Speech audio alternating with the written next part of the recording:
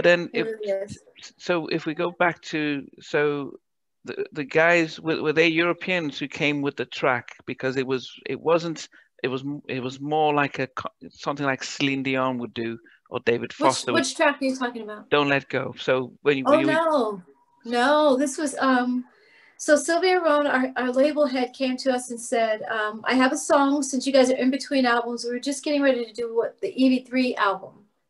So this was after, you know, Born to Sing, Funky Divas, and Runaway Love. And, and we were in between. And she said, There's a song that I think is incredible. You guys would make it a hit.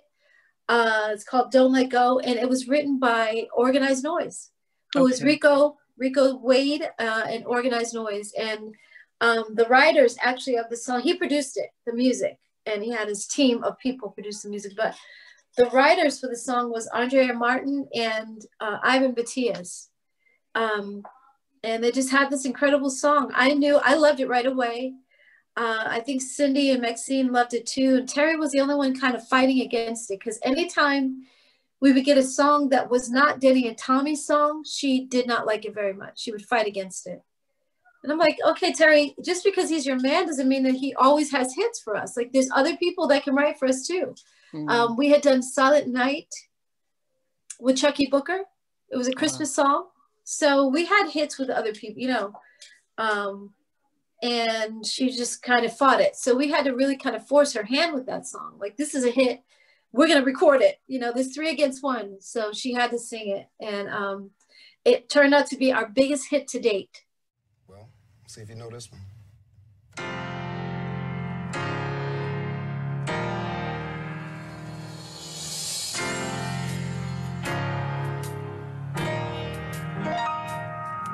That was an En Vogue song, which was uh, nominated for a Grammy. It was something I was messing around with in the studio in my room. Had this loop on. And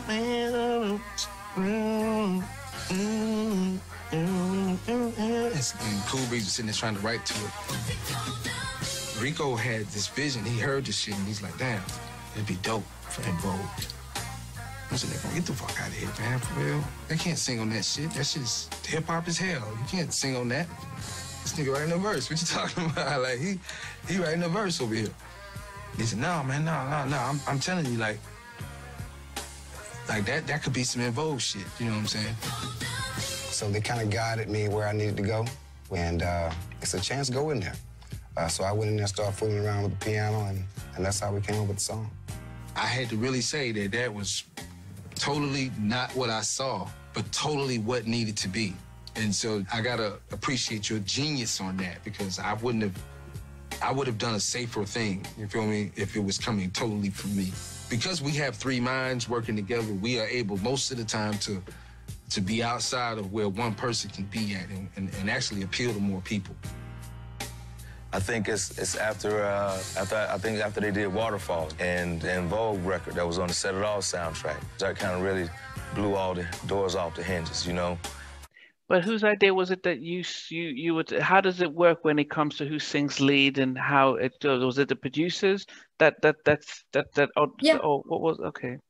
Yeah, a lot of times it's them because they think some after hearing us over the years, like Denny and Tommy knew what we sounded like. So they would always say, okay, Dawn, you're going to sing this one. Terry on this one, Maxine, Cindy. So, um, but with other people, because they knew our sound, they would say, okay, automatically, I think Dawn would be great for this. Oh, no, I think Maxine would be better on this song.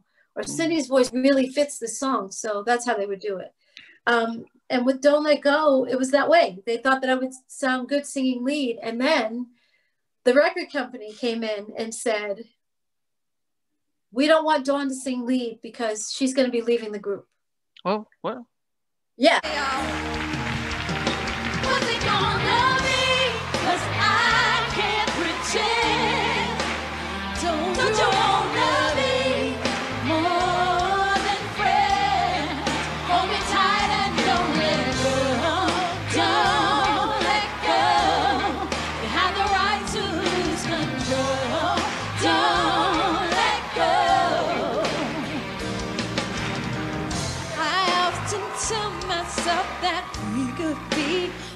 Than just friends.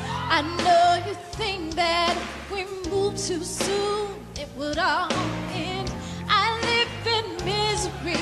when you're